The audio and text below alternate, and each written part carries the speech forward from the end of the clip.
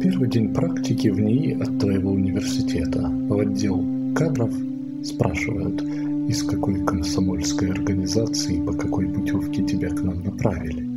Мямля что-то невнятное в ответ. В кабинете коллеги обсуждают песню 87 -го года по центральному телеканалу, чехословацкую мебель и открывшуюся в городе книжную ярмарку.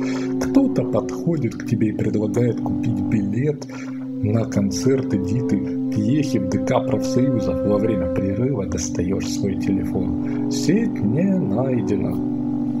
Коллега, увидев его в твоей руке, с неподдельным интересом просит показать все чудо техники. Проходящий мимо мастер с укором говорит, что пользоваться такими устройствами в институте не положено. Наконец-то этот странный день заканчивается. На следующее утро ты заезжаешь по делам в свой университет.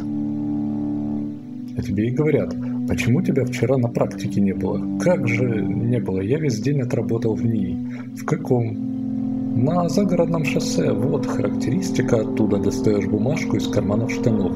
Молчаливая тишина в кабинете.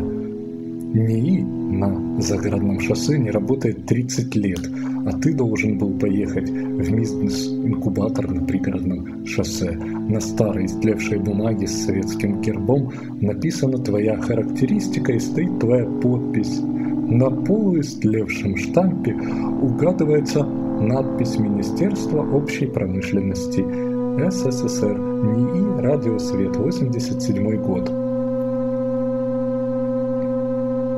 Когда ты выходил из кабинета, краем глаза увидел, как декан молча поднимал трубку черного телефона без диска и кнопок.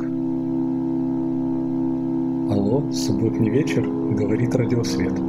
«Кажется, у нас получилось».